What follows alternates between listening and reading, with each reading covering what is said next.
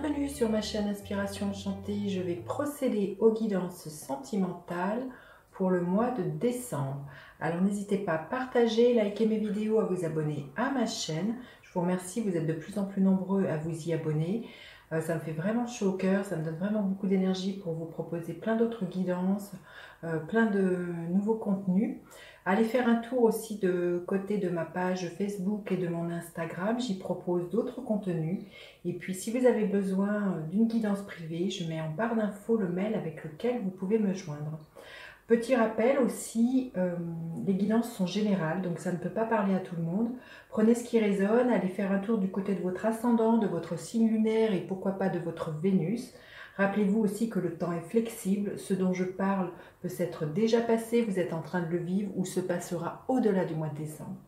Voilà, alors on va passer euh, signe par signe aux guidances sentimentales du mois de décembre. A tout de suite Alors, les cancers, que vous réserve votre mois de décembre au niveau amoureux? On va prendre une carte pour avoir la couleur, la tonalité de votre mois, les cancers, la couleur, la tonalité de votre mois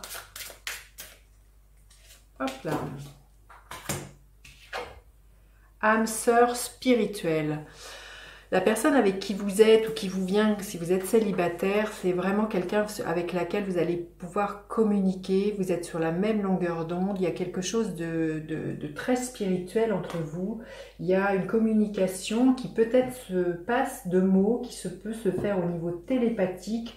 Il y a vraiment quelque chose... Euh, qui, qui, vibre sur, euh, voilà, sur la même note. Hein. Il y a vraiment une reconnaissance euh, de l'un et de l'autre.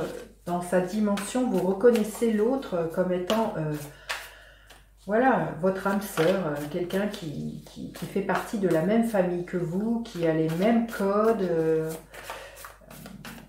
voilà, vous vous comprenez. Et comme je vous dis, bien souvent, je pense au-delà des, des, mots vous vous reconnaissez.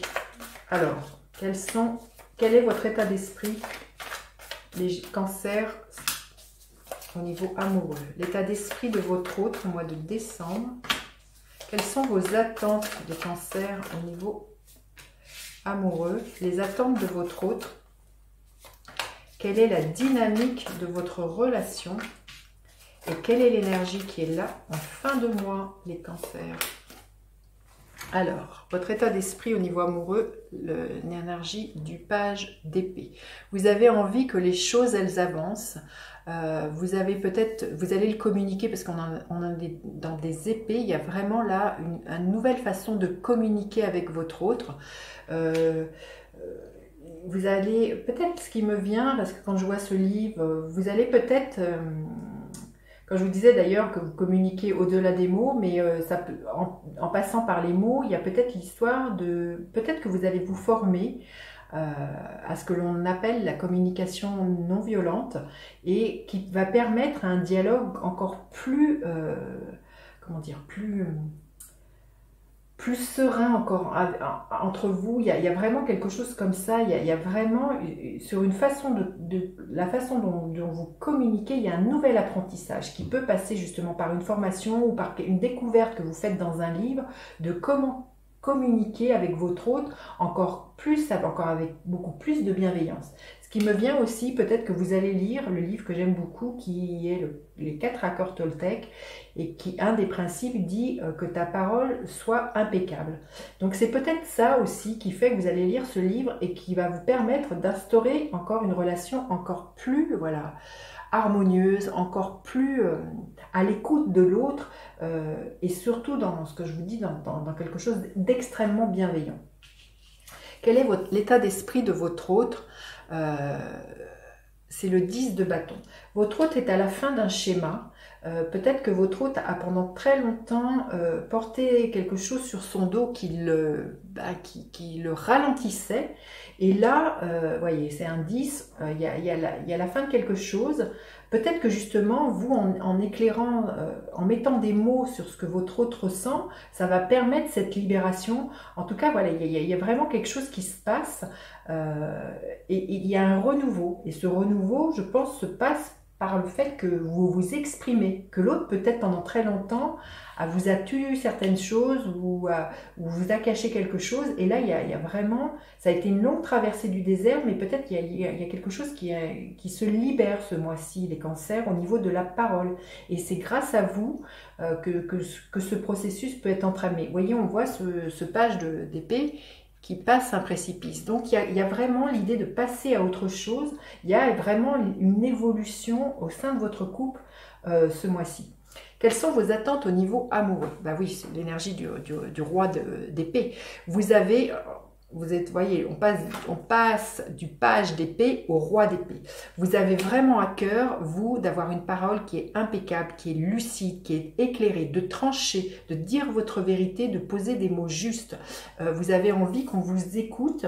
Euh, dans, ce que vous avez à dire, mais euh, il y, a vraiment d'avoir un regard extrêmement discernant. Hein. Le roi des, le roi d'épée, souvent, il fait référence à un, voyez, un avocat, un, un notaire. Il y a quelqu'un, il y a quelque chose de tranché, quelqu'un qui a une parole qui, qui qui, a une facilité de communiquer, voyez, euh, et que, les, c'est le pouvoir des mots, c'est ça le, roi de, le roi d'épée. Donc vous, vos attentes, vous vous rendez compte du pouvoir des mots que celui-ci peut jouer au sein de votre relation. Et c'est en ce sens, c'est ce que je vous disais, je pense que les mots que vous posez permet de débloquer quelque chose qui était jusque-là un peu lourd chez votre hôte et permet de faire avancer. Euh, au sein de votre relation quelque chose, permet qu'il y ait plus de fluidité et permet de renouer du dialogue. Euh, et on va voir l'état des... Bah oui, votre hôte, il est dans l'énergie du 6 de de bâton. Donc votre autre a vraiment à cœur de, réussir votre relation. Hein. le roi de le, 6 de bâton nous parle de ça. Il y a, vraiment euh, l'histoire d'un couronnement, d'une réussite.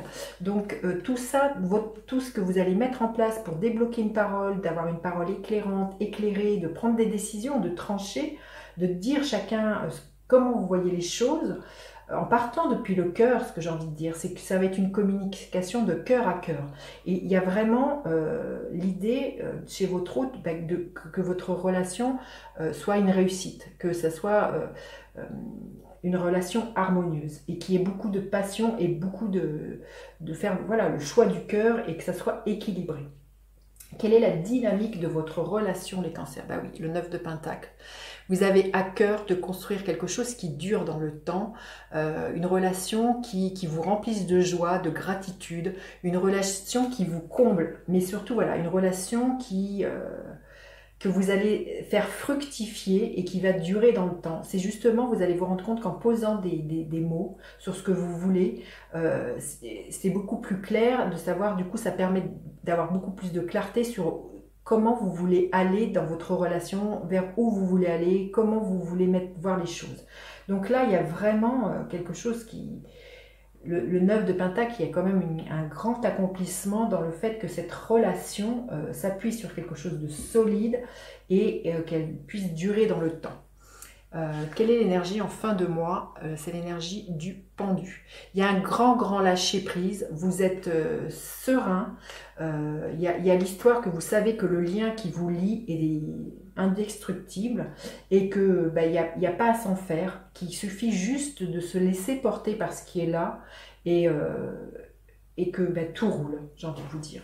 On va demander euh, comment justement cette relation va évoluer avec cet oracle, vers où vous allez les cancers, mais en tout cas, je vois qu'il y a vraiment, en passant par une parole extrêmement bienveillante et une écoute active, j'ai envie de dire, euh, les choses se mettent en place et euh, c'est très très beau. Hein. Euh, alors, vers où vous avancez L'impasse. Réfléchir et rediriger votre énergie. Voilà, c'est que si vous, à un moment donné, justement, vous, vous sentez qu'il y a une impasse, il suffit juste de rediriger votre énergie, de réfléchir et c'est aussi de poser des mots sur ce qui vous bloque. Et c'est aussi, avec l'histoire du pendu, c'est peut-être justement de renverser, des fois juste d'avoir un autre angle de vue, renverser la vapeur, renverser la façon dont on voit les choses et de débloquer tout ça par des mots. Parce que si vous ne dites pas à votre autre justement comment, euh, ben, comment c'est dans votre tête ou ce qui bloque, l'autre n'est pas dans votre tête et ne peut pas... Euh, ne peut pas le savoir. Donc voilà, réfléchir à un moment donné sur ce qui bloque et poser des mots concret qui permet que ben, vous, euh, il y, a, un accomplissement indéniable euh, dans, cette relation. Écoutez, voilà les cancers, ce que je peux vous dire de votre mois de décembre au niveau sentimental. N'hésitez pas à partager, liker, à vous abonner à ma chaîne. Je vous dis à bientôt pour d'autres guidances. Bye bye les enchanteurs